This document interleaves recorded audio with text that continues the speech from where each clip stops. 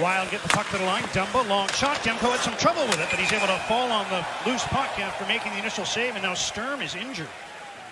Nico Sturm is down in a heap. And uh, Wild medical staff getting out on the ice. Wonder if that shot hit him on the way through. Dumba's shot. Oh, Oh, no. yes, it did hit him. Ouch. Oh. And you can see Thatcher Demko. It's off Sturm and bounces, and it'll take a little while. Get composed. Dean Evason looking at the Jumbotron and seeing Sturm get hit with that shot.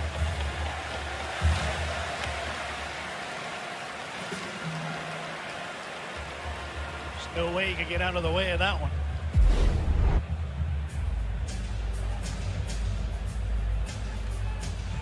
Goalies always wear bigger protective equipment there. I wonder Right. why some of the other players don't.